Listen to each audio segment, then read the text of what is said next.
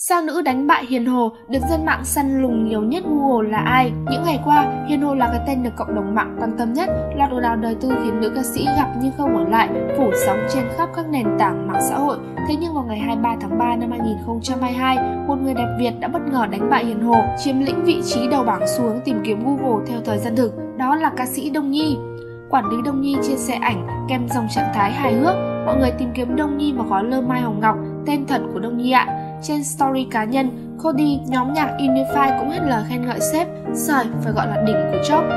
Trước đó giữa lúc đánh golf là từ khóa đang chiếm sóng mạng xã hội, những hình ảnh của giọng ca bối rối và ông xã ông Cao Thắng trên sân golf bất ngờ hot trở lại. Cụ thể trong một chuyến du lịch Phan Thiết hồi tháng 2, cả hai có dịp trải nghiệm các dịch vụ tại những nhà hàng và sân golf tiêu chuẩn quốc tế ở một khu nghỉ dưỡng cao cấp. Cùng diện trang phục thể thao, hai vợ chồng Đông Nhi ghi điểm nhờ nét trẻ trung, xanh điệu và cử chỉ tình tứ bên nhau. Các fan rôm giả chia sẻ lại trên nhiều diễn đàn giải trí với dòng chú thích Bắt gặp đại gia U40 ông Cao Thắng đi đánh golf cùng Đông Nhi, Mai Hồng Ngọc phản ứng như thế nào? Lộ ảnh Mai Hồng Ngọc đi đánh golf với ông Cao Thắng, hiện mọi người đang chờ ca sĩ Đông Nhi lên tiếng. Điều này khiến cư dân mạng bật cười thích thú. Bản thân Đông Nhi cũng thường hùa theo lời vui của fan về nghệ danh và tên khai sinh của mình. Theo đó, nữ ca sĩ từng hù hỏi kêu gọi mọi người hâm mộ lập team đánh ghen chị Mai Hồng Ngọc dùng chị Đông Nhi.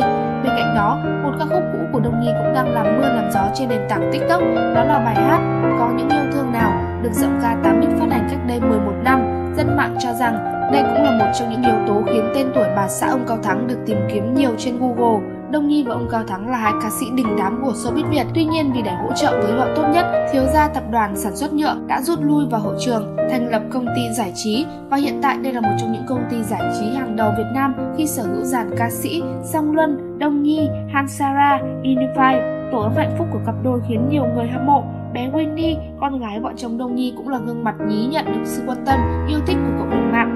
Những hình ảnh vui chơi, sinh hoạt tiếng.